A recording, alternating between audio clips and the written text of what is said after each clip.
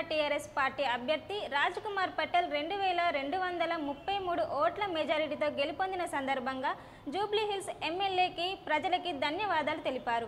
ఈ సందర్భంగా సంబరాలతో ఊరేగించిన డివిజన్ ప్రజలు.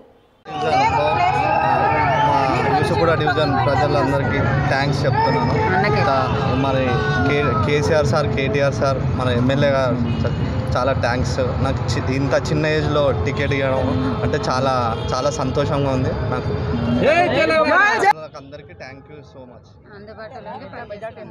నాకు two thousand three hundred and twenty four